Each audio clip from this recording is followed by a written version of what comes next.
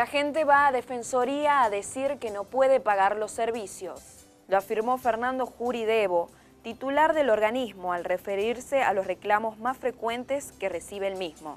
El funcionario dijo que los amparos contra las tarifas que presentaron siguen sin resolución en la justicia federal. Juicio Levos. Determinarán si detienen o no a Guillermo Arturo Poli por falso testimonio. Este martes se reanuda el juicio.